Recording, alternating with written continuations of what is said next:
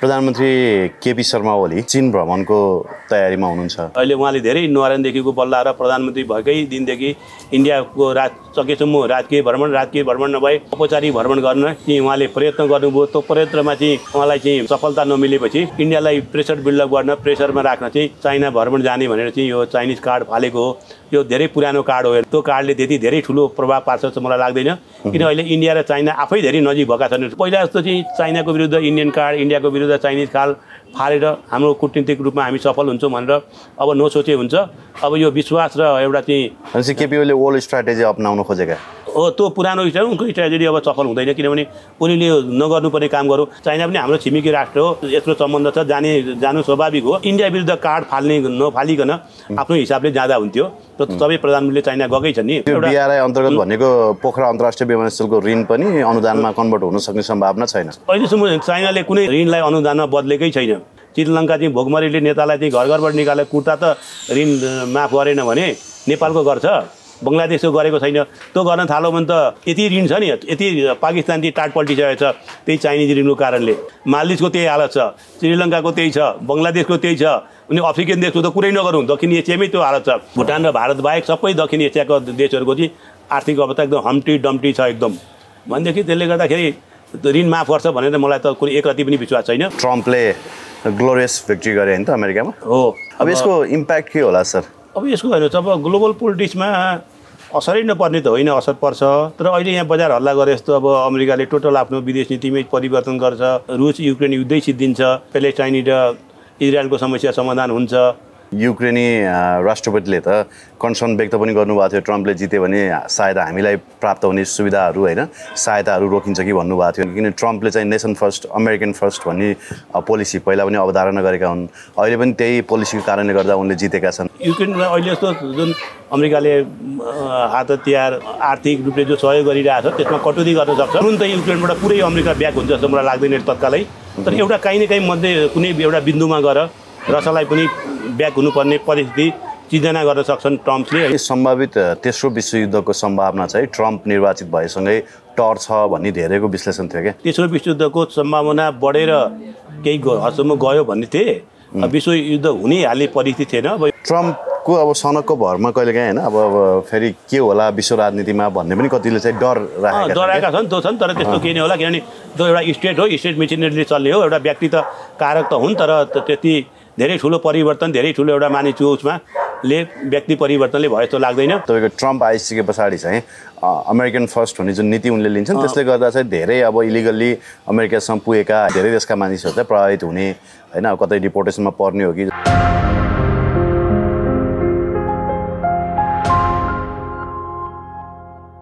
विदेश मामिला जानकार गोपाल प्रसाईजी हाम्रो साथमा हुनुहुन्छ। गोपाल सर यसलाई हार्दिक स्वागत छ।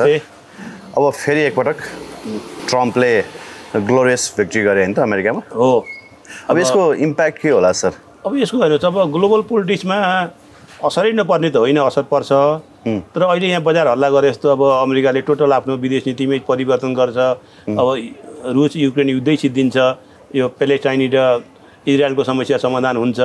रुस युक्रेन युद्ध सकिन्छ भन्दा पनि तपाईँको युक्रेनी राष्ट्रपतिले त कन्सर्न व्यक्त पनि गर्नुभएको थियो ट्रम्पले जित्यो भने सायद हामीलाई प्राप्त हुने सुविधाहरू होइन सहायताहरू रोकिन्छ कि भन्नुभएको थियो होइन।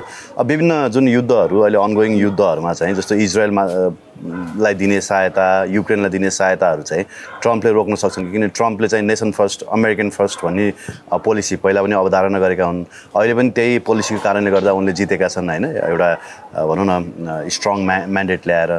त्यसले गर्दाखेरि आफ्नो सिटिजनहरूको फेभरमा मात्रै बढी उनले काम गर्ने हुँदा चाहिँ अन्तर्राष्ट्रिय पोलिटिक्समा केही न केही असर पर्छ भन्छन् कि?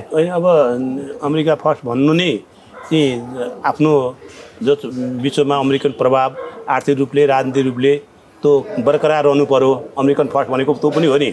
होइन? अनि त्यसले गर्दाखेरि अब युक्रेनमा अहिले जस्तो जुन अमेरिकाले हात हतियार आर्थिक रूपले जो सहयोग गरिरहेको छ त्यसमा कटौती गर्न सक्छ। र तुरुन्तै युक्रेनबाट पुरै अमेरिका ब्याक हुन्छ जस्तो मलाई लाग्दैन तत्कालै। तर एउटा काहीँ न काहीँ मध्ये कुनै एउटा बिन्दुमा गएर रसलाई पनि ब्याक हुनुपर्ने परिस्थिति सिर्जना गर्न सक्छन् ट्रम्पले होइन?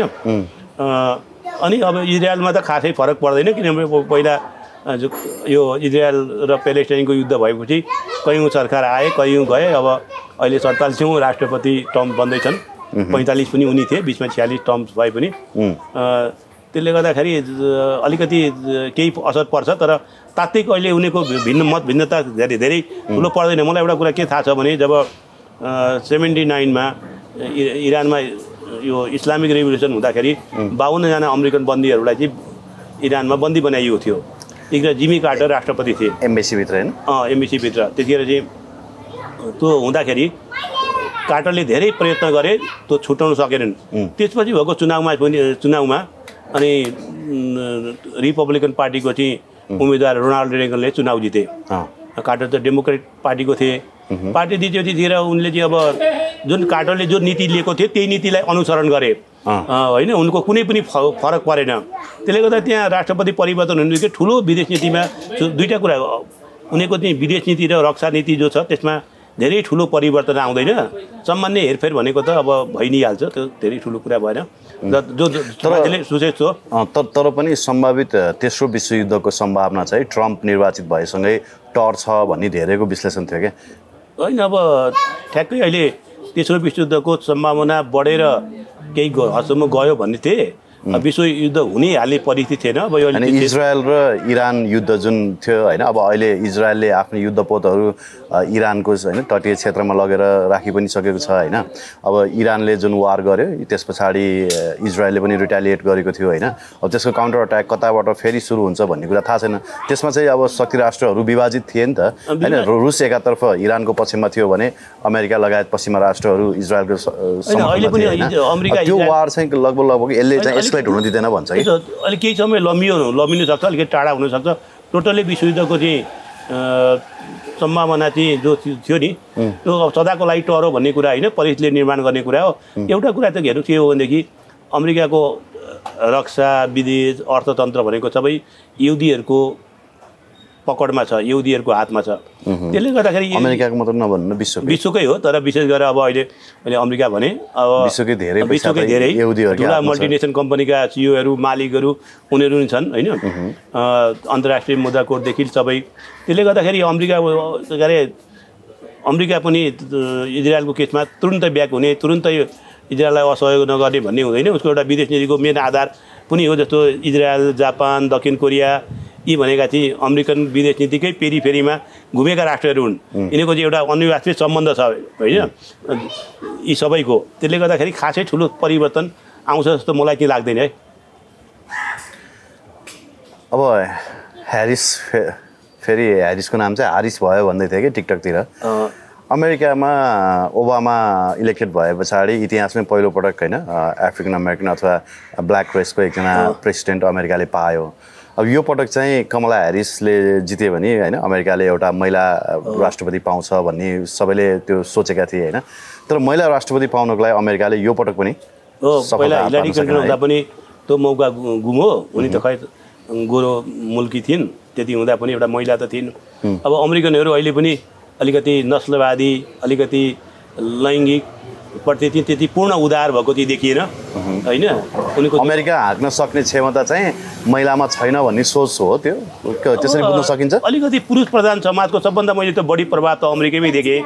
विश्वको समुन्नत मुलुक ठुलो मुलुक आधुनिक मुलुक भने तापनि किनभने अब हामीले हेर्नुहोस् द्वारिका देवी ठकुराईलाई दक्षिण एसियाको पहिलो मन्त्री बनायौँ उन्नाइस सय साठीमा होइन? साठी दक्षिण एसियाकै पहिलो। दक्षिण एसियाको। अब श्रीमती माओ बन्दर नाइकेलाई श्रीलङ्कामा पहिलो विश्वको महिला प्रधानमन्त्री भइन्। अब यहाँ के अरे त्यसपछि इन्दिरा गान्धी भइन्। अब कुमारतुङ्गा राष्ट्रपति नै भइन् श्रीलङ्कामा। अब बङ्गलादेशमा दुई दुईजना महिला प्रधानमन्त्री भए पाकिस्तानमा प्रधानमन्त्री भए त्यो तुलनामा त उनीहरूभन्दा त कता कता चिन्तनमा बरु हामी अगाडि छौँ कि पूर्वीय दर्शनमा जस्तो लाग्छ मलाई हेर्नुहोस्। किन हामी त धेरै अगाडि हाम्रो फेरि अर्ली इतिहास हेर्ने हो भने हाम्रो त फेरि मातृसत्ता भएको इतिहास छ होइन। पुरुष सत्ता त बिचमा पछि कहाँबाट आएको। तर हाम्रो त मातृसत्ताको इतिहास मातृसत्ता हो हामीले देवी दुर्गा काला काली भगवती सबैलाई मानेकै हो नि। होइन? अब हाम्रो समाज त पृथ्वी सत्तात्मक त बिचमा यो त घुसपेट भएको हो।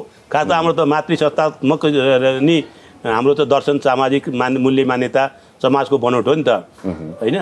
तर अब अहिले त्यसलाई त्यसरी भन्दा पनि अलिकति अहिलेको विश्व परिस्थितिलाई अलिकति ट्रम्पले जुन प्रकारले चाहिँ आफ्नो विचारलाई राख्न सके कता कता कमला ह्यारिस चाहिँ अलिकति चुकिन हुने जस्तो आप्रवासीको कुरामा जलवायुको कुरामा विशेष विशेष गरेर चाहिँ उनले जो बाइडेनले जो नीति लिएका थिए त्यसै नीतिमा चाहिँ हामी अनुसरण गर्छौँ भनेर जो बोले त्यसले गर्दा उनलाई अलिकति प्रतिपादक ठहरियो होइन हुन त अब त्यो एउटै पार्टीको त्यो त बोल्नै पर्थ्यो उनले स्वाभाविक हो।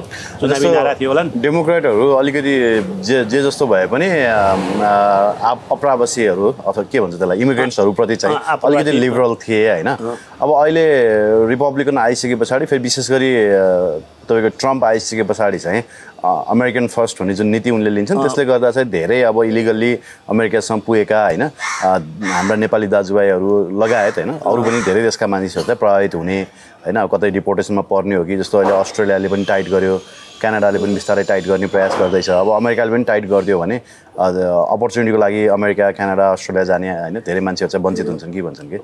हेर्नुहोस् अहिले यो के अरे आप्रवासीहरूको सञ्चारमा भयावह समस्या छ। अहिले पाकिस्तानमा हेर्नुहोस् दिनको पचास हजार मान्छेले नयाँ पासपोर्ट पाउँदो रहेछन्। पचास हजार? हजार। जब उनीहरूको मान्छे छन् कति करोड छन् अनि भन्दैछु उन जब उनीहरूको क्यापासिटी दिनको बिस हजार मात्रै प्रिन्ट गर्ने बाँड्ने सक्ने क्यापासिटी रहेछ। भने त्यहाँ कोही पनि बस्न चाहँदैन। भनेपछि महिनाको पन्ध्र लाख भएन। महिनाको पन्ध्र लाख भनेको त अब सत्र अठार बिस बिस करोड बाइ- बाइस करोड होला जनसङ्ख्या पाकिस्तानको। भने मौका पऱ्यो भनेदेखि पाएसम्म कोही पनि त्यहाँ बस्न तयार छैन। अब भुकमरी छ गरिबी छ के अरे अशान्ति छ अस्थिरता छ गृहयुद्ध छ भनेदेखि अभाव छ। भनेदेखि अहिले अहिले संसारमै यो माइग्रेसनको जो छ नि समस्या छ आप्रवासीहरूको। अनि त्यसबाट चाहिँ अब बढी पराजित हुने भनेका त विकसित देश हुन्। अल्प अल्प विकसित देशमा विकासोन्मुख देशमा त कोही जाँदैन। जाने त युरोपमा अमेरिकैमै हो मौका पाएछु म। त्यसले गर्दा यो कहाली लाग्दो अवस्था छ। उनीहरू पनि बाध्यता छ। किन किनभने अब उनीहरूमा आफै समय गरिबीको के अरे बेरोजगारको समस्या छ के अरे यो मनी इन्फ्लुएन्स भइरहेको छ होइन? अनि त्यो व्य- व्यापारीहरू धेरै घाटामा छन् उनीहरूको पनि। त्यसले गर्दा शक्ति सम्पन्न राष्ट्रहरूलाई पनि सोचे जस्तो सहज छैन हेर्नुहोस् अहिलेको विश्व उसमा। अब जलवायु परिवर्तन छ। हुन त अब तपाईँको चाइनिजहरू नै के भन् के भन्थे अमेरिकामा भने? तपाईँ चन्द्रमामा गए पनि एउटा इन्डियन र एउटा चाइनिज भेटिन्छ भनेर भन्छन् कि? त्यो एउटा सेङ नै छ होइन? भनेको त्यति धेरै मान्छेहरू चाहिँ अब इमिग्रेन्ट्सको रूपमा चाहिँ होइन? संसार विश्वको हरेक कुनामा पुगेका छन्। इन्डियन्सहरू र अमेरिकन्सहरू किनभने उनीहरूको पपुलेसन पनि ठुलो छ। होइन? पपुलेसन पनि ठुलो छ। चाइना अहिले समृद्ध भयो संसारकै number one number one economy बन्दैछ भन्छन्। तर चाइनिजहरू विदेशी नै क्रम त रोकिएको छैन। रोकिएको छैन। उनीहरूको पनि विदेशी नि क्रममा युरोप अमेरिकै हो टार्गेट भनेको। जतिसुकै चाइनाका चाइनाका धनाडीहरू राम्रो स्वास्थ्य उपचारको खोजीमा अमेरिका युरोप जान्छन्। धनाडीका छोराहरू चाहिँ राम्रो शिक्षा दीक्षाको लागि अमेरिका युरोपै जान खोज्छन्। होइन कोही चाइनामा पढ्न त खोज्दैन। अनि सबभन्दा ठुलो कुरा चाइनामा हेर्नुहोस् अब जनसङ्ख्या वृद्धि दर चाहिँ जो रोकियो त्यसले गर्दा जनसङ्ख्या घट्ने क्रममा छ। अनि त्यहाँ चाहिँ यो रियल इस्टेटको कारोबार अब मन्दी हुन थाल्यो। त्यसले गर्दा ठ्याक्क अहिले आजभन्दा तिस पैँतिस वर्ष अहिलेको जापानको जो कन्डिसन थियो नि त्यो कन्डिसनमा जापान अहिले के अरे अहिले चाइना छ नि। अब तिस पै पैँतिस वर्ष अघि झन्डै झन्डै जापानको जो कन्डिसन थियो अब अमेरिकाले जित्छ अमेरिकाले जित्छ अमेरिकाको भन्दा ठुलो अर्थतन्त्र हुन्छ भनेर त्यहाँ चाहिँ विभिन्न मिडियाहरूमा विभिन्न चाहिँ सञ्चारकर्मीले दुनियाँ रिपोर्टहरू आउँथ्यो। अब त आखिरमा त अहिले जापानको त अर्थतन्त्र झन् खुस्कि खुम्चिँदै खुम्चिँदै त धेरै तल गइसक्यो होइन? चाइनाको पनि धेरै राम्रो भविष्य यसरी जाला जस्तो मलाई लाग्दैन। किनभने त्यहाँ अब मेन पावरको कमी कमी हुन्छ। के अरे के अरे मार्केट त यही ग्लोबल यही हो। संसारका सबै देश धनी हुँदा नि उनीहरूको सामान किनेर उनीहरूको सामान चाहिँ बेच्ने ठाउँ के अरे मार्केट हुन्छ। संसारमा आर्थिक मन्दी आयो भने त चाइना पनि त्यसबाट अछुतो रहन सक्दैन नि। कोभिडमा देखियो। यी सबैले कुराले गर्दाखेरि विश्व राजनीतिमा चाहिँ अहिले एकदम धुमिल अवस्था छ। यहाँ चाहिँ सबै सङ्कटै सङ्कटको म देख्छु। काहीँ धेरै छ काहीँ थोरै छ। समस्याका प्रकारहरू फरक छन् तर समस्याविहीन संसारमा कोही पनि राष्ट्र छैन अहिले। अफ्रिकाको आफ्नै समस्या छ चाइनाको आफ्नै छ एसियनहरूको आफ्नै छ गाडी अरबेरहरूको आफ्नै छ। होइन? ट्रम्पलाई मान्छेहरूले भन्दाखेरि एउटा शङ्का व्यक्तिको रूपमा लिन्छन् क्या। हुन त उनी एउटा व्यापारी थिए होइन? त्यही सनककै भरमा उनी अमेरिकाको राष्ट्रपति बन्न सफल भए। दुधी दुधीपट्टि पनि कसरी भयो भने प्रायः जसो प्रेसिडेन्टहरू चाहिँ। कन्जिक्युटिभ हुन्छन्। होइन टर्म हुन्छन्। तर उहाँ कन्जिक्युटिभ टर्म नभइकन एक टर्म उहाँले मिस गरेर अर्को टर्ममा उहाँ इलेक्टेड हुनुभयो। यसरी राष्ट्रपति भएको मैले मैले जब अलिकति राजनीति बुझ्न थालिकन मैले पाएको थिइनँ। बिचमा चाहिँ एउटा टुटेर एउटा कार्यकाल सिद्धिएर फेरि चुनाव हारेर फेरि भएको चाहिँ अब मैले राजनीतिमा थाहा पाउनुभन्दा मेरो अध्ययन हुनुभन्दा पहिला थियो भने अलग कुरा मैले जाने रेकर्डमा मेरो छैन दिमागमा। तर मैले थाहा पाइकन चाहिँ करिब करिब भनौँ न यो सेभेन्टी सेभेनदेखि यतापट्टिका जो रा अमेरिकन पोलिटिक्सलाई जो म अध्ययन गरिरहेको छु त्यो हेर्दाखेरि त्यो देखिँदैन। देखिँदैन। देखिँदैन। जस्तो मैले। जानिकन हेर्नु यो पनि एउटा हिस्ट्री नै हो? जस्तो मैले थाहा पाइकन त्यहाँ जिमी कार्टर चाहिँ राष्ट्रपति थिए। उनले एक कार्यकाल पुरा गरेपछि हारे। त्यसपछि रोनाल्ड रेगन राष्ट्रपति भए। उनले लगातार दुई पटक चुनाव जितेर राष्ट्रपति भए। त्यसपछि फेरि चुनावमा तेस्रो पटक रिपब्लिकले जितेर त्यो जज बुर्ज होइन सिनियर उनी। चार वर्ष कार्यकाल भयो। त्यसपछि चाहिँ गल्फमा युद्ध भयो। त्यसपछि उनी हारेर चाहिँ फेरि पछि बिल क्लिन्टन आए। बिल क्लिन्टनले पनि दुई वर्ष कार्यकाल पुरा गरे। त्यसपछि फेरि चाहिँ जज Bush senior junior. Junior। Junior चाहिँ फेरि कार्यकाल पुरा गरे उनले पनि एक काल कार्यकाल मात्रै पुरा गरे। दुई कार्यकाल होइन र? हुनसक्छ। जज बुसको दुई कार्यकाल मलाई। अनि किनभने वार अनगोइङ थियो होइन। अनि- इराक वार अनगोइङ भएको कारणले उनी फेरि इलेक्टेड भएको अनि त्यसपछि चाहिँ फेरि अनि उनी पछि ओबामा आए। ओबामा आए उनले पनि रेगुलर दुई कार्यकाल गरे। अनि ओबामा पछि चाहिँ के अरे फेरि टम्स आए। होइन टम्सले कार्यकाल गरे अनि उनले एक कार्य हारेपछि बाइडेन आए फेरि अहिले टम्स आए। त्यो हेर्दाखेरि चाहिँ यो चाहिँ एउटा अनौठो घटना मानेको छु मैले पनि यसलाई। मेरो जीवनको त त्यही त अब ट्रम्पको अब सनकको भरमा कहिलेकाहीँ होइन अब अब फेरि के होला विश्व राजनीतिमा भन्ने पनि कतिले चाहिँ डर राखेका छन् डराएका छन् त्यो छन् तर त्यस्तो केही नै होला। किनभने त्यो एउटा स्टेट हो स्टेट मेसिनरीले चल्ने हो एउटा व्यक्ति त कारक त हुन् तर त्यति धेरै ठुलो परिवर्तन धेरै ठुलो एउटा मानिसको उसमा ले व्यक्ति परिवर्तनले भयो जस्तो लाग्दैन। उनीको एउटा एउटा आफ्नो दुई सय वर्षदेखि एउटा इतिहास छ एउटा परम्परा छ एउटा ट्रेन छ त्यसले गर्दाखेरि धेरै त्यो ऊ होला जस्तो मलाई लाग्दैन। ओके अब अलिकति प्रसङ्ग के जोडौँ भने नि प्रधानमन्त्री केपी शर्मा ओली चिन भ्रमणको तयारीमा हुनुहुन्छ। तर यति बेला उहाँ बिरामी हुनुहुन्छ। अब अब जुच्चे नक्सा अङ्कित सयको नोट छाप्ने जिम्मेवारी चिनिया कम्पनीलाई दिनुभयो। त्यस पछाडि भारतीय मिडियाहरूको रोइकराई पनि तपाईँले देखिरहनु भएको छ। भारतलाई एक हिसाबले यसले पिन्चिङ त भएको होला होइन, अब- चिन भ्रमणमा उहाँ जानुभन्दा अगाडि ठ्याक्क माधव नेपालसँग पनि उहाँको गोप्य भेटघाट भएको थियो भन्ने कुराहरू अहिले गाई गाईको सुनिन थालेको छ होइन? अब त्यस पछाडि उहाँ बिरामी पर्नुभयो। के हो सर यो संयोग हो कि होइन? अब अब पहिला सबै जस्तो नोटहरू बाहिर छापिन्थ्यो। अब अहिले चाहिँ पाँच सयको नोट अ, बाहेक अरू सबै चाइनामै छापिन्छ क्या र। यो विगत आठ दस पाँच सात वर्षदेखि चाइनामा छापिन थालिएको हो। पहिला चाहिँ सबै बाहिरै अन्त युरोपतिर छापिन्थ्यो। फ्रान्स एउटा मलाई फ्रान्सको कम्पनीमा छापेको पनि थाहा छ। पछि थाइल्यान्डले पनि चाहिँ अ, छाप्न एकपल्ट टेन्डर आह्वान गरेको थियो परे हालेको थियो। अब म ओलीजीको बिरामी अहिले यतिखेर हुन त मङ्सिरको दोस्रो साता भनेको छ। होइन त्यतिखेर त उहाँको स्वास्थ्य पनि लाभ होला। धेरै राम्रो बिरामी नहुनुहुन्छ होला। अब यो चाहिँ एउटा अहिले उहाँले धेरै न्वारानदेखिको बल्ल र प्रधानमन्त्री भएकै दिनदेखि इन्डियाको राज सकेसम्म राजकीय भ्रमण राजकीय भ्रमण नभए औपचारिक भ्रमण गर्न चाहिँ उहाँले प्रयत्न गर्नुभयो। त्यो प्रयत्नमा चाहिँ उहाँलाई चाहिँ सफलता नमिलेपछि इन्डियालाई प्रेसर बिल्डअप गर्न प्रेसरमा राख्न चाहिँ चाइना भ्रमण जाने भनेर चाहिँ यो चाइनिज कार्ड फालेको हो।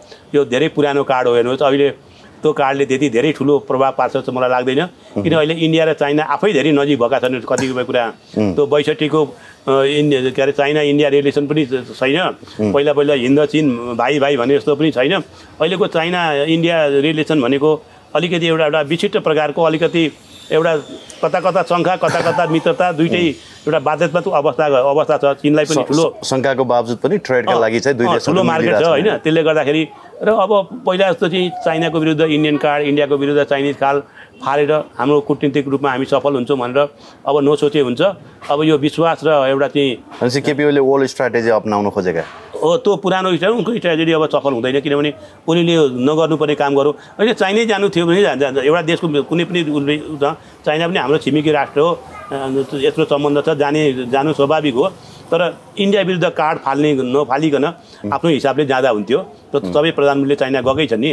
अब पन्ध्र सालमा पनि हेर्नुहोस् अब बिपी पनि पहिला एकपल्ट पहिला इन्डिया अ, बाट निम्तो नआएपछि चाइना जाने कुरा गरेपछि फेरि चाहिँ इन्डिया गएका गएका हुन्। इन्डियाको निम्ति बिपीले अझ तपाईँलाई एउटा रोचक कुरा हेर्नु यहाँ जब टङ्क प्रसाद आचार्य प्रधानमन्त्री हुँदाखेरि पञ्चवर्षीय योजना बनाउनु पर्यो। नेपालसँग पैसा थिएन। नेपालसँग पैसा नभएपछि अब के गर्ने भन्दाखेरि टङ्क प्रसादजीले एकजना उहाँको नजिकको मित्र त्यतिखेर पत्रकारिता गर्नुहुन्थ्यो उहाँलाई बोलाएर चाहिँ भन्नुभएछ कि अब एउटा फेक न्युज बनाउनु पऱ्यो के गर्ने भन्दाखेरि यो अब हामीले पञ्चवर्षीय योजना बनाउनु पऱ्यो हामीसँग पैसा छैन त्यो पैसाको लागि चाहिँ चाइनाले लगानी गर्नेछ चाइनाले सहयोग गर्नेछ भनेर एउटा न्युज बनाउनुहोस् भनेपछि उनले न्युज बनाए। होइन? त्यो न्युज बनाएपछि अनि त्यसको एक दुई दिनपछि इन्डियन एम्बेडरले बोलाएर भनेछन्। होइन चाइनाबाट किन पैसा हामी नै दिन्छौँ नि? भनेपछि अनि प्रथम पञ्चवर्षीय योजना टोटल इन्डियाको बजेटबाट बनेको थियो हेर्नुहोस्। होइन? त्यो त्यतिखेरको कार्ड त्यो काम लाग्यो तर सधैँभरि त्यो काम लाग्यो भनेर तेह्र सालमा त्यो कार्ड काममा लाग्यो भन्दैमा अहिले काम लाग्छ भन्ने छैन नि। ओलीजीले अलिकति यसलाई चाहिँ सुझबुझपूर्ण तरिकाले आफ्नो हिसाबले चाइना गरे पनि अब ओलीको यो कदमले ओली सरकार नै। सङ्कटमा पर्छ भन्दैछन् होइन? के के हुन्छ सर? सरकारको त अहिले तत्काल सङ्कट पर्छ पर्दैन तर यसले के भने अब मलाई लाग्छ बिआरआईको विषयमा ओली तपाईँको प्रतिपक्षमा हुँदा पनि उनी बोलिरहेका थिए होइन? सरकार पक्षमा हुँदा पनि उनी बिआरआईकै समर्थकै मानिन्छन् होइन? बिआरआईमालाई रोक्ने लगभग लामो प्रयास पछाडि अब फेरि बिआरआईमा हस्ताक्षर हुन खोज्यो भने चाहिँ ओली सरकार ढल्छ भन्दैछन् कि? होइन अहिले त्यसमा मलाई सही होला जस्तो लाग्दैन किनभने अब विदेश मन्त्री आर्जु राणा हुन्छ। आर्जु राणाजी प्रष्ट चाहिँ अहिले हामी ऋण लिन सक्ने अवस्थामा छैनौँ। त्यसले गर्दा अनुदानमा भयो भने ठिक छ भनेर अडिक हुनुहुन्छ। अब उहाँको एउटा मलाई लाग्छ सद्भावपूर्ण यो औपचारिक भ्रमण भए पनि ठुलो कुनै सन्धि सम्झौता होला जस्तो लाग्दैन। पुराना सन्धि सम्झौतालाई पुनरावलोकन गर्नु गर्नु अलग कुरा हो। अहिले नेपालले चाहिँ चाइनिज ऋण त्यस्तो ठुलो आइ आइस ब्रेक हुँदैन। ठुलो आइस ब्रेक हुँदैन। त्यो एउटा बिआरआई अन्तर्गत भनेको पोखरा अन्तर्राष्ट्रिय विमानस्थलको ऋण पनि अनुदानमा कन्भर्ट हुन सक्ने सम्भावना छैन। अहिलेसम्म चाइनाले कुनै ऋण अनुदानमा ऋणलाई अनुदानमा बदलेकै छैन। नेपालमा सबभन्दा बढी ऋणलाई अनुदानमा बदल्ने भनेको जापान हो। होइन? त्यसपछि अब इन्डियाले त ऋण दिन थालेको धेरै भएको छैन। पहिला अनुदानै दिन्थ्यो जति दिन्थ्यो। अरू युरोपका केही देशहरूले गरेका छन् जस्तो तपाईँलाई थाहा होला यो युक्रेनको जो चाहिँ ऋण थियो धेरै ऋण चाहिँ के अरे बेलायतले चाहिँ आफूले आफूले चाहिँ लिइदियो होइन? यसको ऋण चाहिँ हामी तिर्छौँ भनेर। त्यस्ता देशहरू पनि छन् तर अहिले तत्काल चाइनाले नेपालको ऋण चाहिँ किन ऋण चाहिँ अनुदानमा बदल्छ जस्तो लाग्दैन। उसको त्यत्रो सहयोगी राष्ट्र त्यत्रो सहयोग गरेको श्रीलङ्का चाहिँ भोगमरीले नेतालाई चाहिँ घर घरबाट निकालेर कुर्ता त ऋण माफ गरेन भने नेपालको गर्छ बङ्गलादेशको गरेको छैन। त्यो गर्न थाल्यो भने त के अरे यति ऋण छ नि यति पाकिस्तान चाहिँ टाट पल्टिसकेको छ त्यही चाइनिज ऋणको कारणले। त्यो पाकि- पाकिस्तान अहिले अझ- फरेन ऋण खोज्दैछ। खोज्दैछ। चाइनिज ऋणले चाहिँ यति सिचिएको छ कि त्यो उम्किने उपाय छैन। मालदिभ्सको त्यही हालत छ श्रीलङ्काको त्यही छ बङ्गलादेशको त्यही छ अनि अफ्रिकन देशको त कुरै नगरौँ दक्षिण एसियामै त्यो हालत छ। एउटा भुटान बाहेक भुटान र भारत बाहेक सबै दक्षिण एसियाको देशहरूको चाहिँ आर्थिक अवस्था एकदम हम्टी डम्टी छ एकदम। भनेदेखि त्यसले गर्दाखेरि ऋण माफ गर्छ भनेर मलाई त कुनै एक रति पनि विश्वास छैन। अब यो त हल्लाको खेती चलिएको छ यो त अब चाइनाले अहिलेसम्म कुनै ऋण माफ गरेको मेरो मेरो नोटिसमा छैन है। अब अर्को एउटा कुरा चाहिँ ब्रिक्स सम्मेलन पछाडि चाहिँ अब चाइना र इन्डिया मिले अब नेपालमा पनि उनीहरूले स्टेबिलिटी ल्याउन खोज्छन् होइन? नेपाललाई पनि अब यसरी चाहिँ खुला छोड्दैनन् होइन? नेपालमा पनि एउटा फिक्स सिस्टम ल्याउन खोज्छन्। अथवा नेपालको समृद्धिको लागि पनि इन्डिया र चाइना दुवै मिलेर काम गर्छन्। किनभने चार सय किलोमिटर बोर्डरमध्ये यो चार हजार किलोमिटर बोर्डरमध्ये यो हजार किलोमिटरलाई पनि उनीहरूले विशेष निगरानीमा राख्छन् भन्ने धेरै मान्छेको बुझाइ देखेँ कि। जस्तो सी र प्रेसिडेन्ट सी र तपाईँको भारतीय प्रधानमन्त्री नरेन्द्र मोदीको भेट पश्चात चाहिँ यहाँ थुप्रै खाले स्पेकुलेसनहरू आए। अझ कतिपयले त अब हिन्दू राष्ट्र राज संस्था पनि फर्किन्छ भन्ने यस्तो कुराहरू सुने। तर मेरो मनमा डाउट चाहिँ जस्तो हिजो ट्राइजङ्सन डिक्लेयर गर्ने बेलामा दुई हजार पन्ध्रमा सुशीलता प्रधानमन्त्री हुनुहुन्थ्यो त्यति बेला नेपाललाई नसोधिकन इन्डिया र चाइना मिलेर त्यसलाई। तिन देशीय जङ्सनको रूपमा चाहिँ डिक्लेयर गरिदिए होइन? र त्यो लिपुलेक पासलाई चाहिँ एउटा व्यापारिक जङ्सन बनाउने उनीहरूले एग्रिमेन्ट गरे नेपाललाई नसोधिकन। ट्राई जङ्सन भन्दा पनि नेपाललाई नसोधिकन त्यो गरे। भनेपछि भोलि चाइना र इन्डिया मिल्दा पनि त नेपाल झन् बढी खतरामा जाने होइन? किनभने हिजो सिक्किम लिँदा न भा चाइनाले विरोध गर्यो न टिबेट चाइनाले लिँदा भारतले विरोध गर्यो त्यति बेला। त्यो धेरै त्यो अगर हाम्रो राजनीतिज्ञहरूमा सुझबुझ भएन भने चिन र भारतको सम्बन्ध समुद्र हुँदाखेरि हामीलाई प्रतिपादक हुनसक्छ। त्यसको लागि सुझबुझपूर्ण नेतृत्व चाहिन्छ। त्यो किनभने सन्तुलनको भू राजनीतिक सन्तुलन मिलाउन जानेन भने त हामी झन् समस्यामा पर्न सक्छौँ। अनि अरू कुरा के छ भने अब ब्रिक्समा आफै उनीहरूको चाहिँ सदस्य राष्ट्रबिच ठुलो मतभिन्नता छ। अब त्यहाँ जो अन्तर्राष्ट्रिय मिडियाहरूमा आएको आएको कुरा अनुसार अब अहिले संयुक्त राष्ट्रमा चाहिँ जो केही अस्थायी राष्ट्र भिटो पावर भएका थप्ने कुरा भइरहेछ नि। होइन? त्यसमा हेर्नुहोस् अब अब ब्राजिल दावेदार छ के अरे इन्डिया दावेदार छ एसियाबाट। अब जापान र साउदी अरब त छँदैछन्। होइन? अनि त्यहाँभित्र पनि अब अफ्रिकाबाट साउथ अफ्रिका पनि दावेदार हो नाइजेरिया पनि दावेदार हो अनि दावेदार हो। अब कसलाई दिने अब एउटा अफ्रिकाले एउटा पाउला एउटा पाउँदाखेरि अब नाइजेरियालाई दिने कि साउथ अफ्रिकालाई दिने कि भन्ने ठुलो विवाद छ। अब दक्षिण अमेरिकातिर यता अमेरिकन महादेशमा ब्राजिलको दावा छ अरू देशको पनि दावा होला। त्यसले गर्दाखेरि त्यहाँभित्र आफै कुरा मिलिरहेको छैन। अनि अब उनीहरूले यता के अरे साउदी अर अरेबियालाई पनि बोलाउन थियो। साउदी अरेबिया इरानको कारणले पार्टिसिपेट भएन होइन? अनि छैन। अब इन्डिया त एउटा किसिमको सर्वसम्मत होला। त्यो पनि जापानको पनि दावा प्रबल छ त्यसमा। अनि के अरे अब युरोपले पनि मागिरहेको छ। हामीले पनि पाउनुपर्छ भनेर अब युरोपमा त अलरेडी तिनवटा देश छन् अब फ्रान्स बेलायत र रुस पनि युरोपमा भएको हुनाले तिनवटा देश त्यसमा जर्मन जर्मनीको पनि दावा छ। होइन? त्यसले गर्दा ब्रिक्सको को प्रेसरले उसले धेरै ठुलो अन्तर्राष्ट्रिय उसमा प्रभाव पार्ला जस्तो लाग्दैन जस्तो अहिले त भन्छ डलरको लागि विकल्पमा अर्को करेन्सी ल्याउने ऊ ल्याउने भन्ने कुराहरू पनि छन्। अब यो तत्काल सम्भव छैन। एउटा अमेरिकनहरूप्रति अमेरिकन गुटका राष्ट्रप्रति एउटा प्रेसर बिल्डअप गर्न चाहिँ यो सबै कुराहरू अहिले तर्जुमा गरिँदैछ जस्तो लाग्छ विशेष गरेर अ, रसियनहरूले। किन रसियाले त पहिले पनि संयुक्त राष्ट्रको अफिसै मुखियालाई चारौँ भनेको थियो। सफल भएनन्। होइन बिचमा यो युक्रेन युद्ध भए पनि त उसले त पेट्रोलमा चाहिँ अरू युवानमा इन्डियन करेन्सीमा के अरे बेच्ने भनेर गरेकै हो। त्यसमा सफल भएनन्। त्यसले गर्दाखेरि यो कसैलाई प्रेसर बिल्डअप गर्न अमेरिकनहरूलाई अमेरिकन गुटका राष्ट्रहरूलाई प्रेसर बिल्डअप गर्न गरिएका कुराहरू नि। अब यसको प्रभाव कतिसम्म रहन्छ त्यो त समयले बताउँदै जान्छ। घटनाक्रमले बताउने हो नि। अब अर्को कुरा चाहिँ हाम्रो जिबी राईको बारेमा क्या। अब दुर्गा प्रसाई अब तपाईँ पनि प्रसाई बन्धु नै पर्नु भएको छ होइन?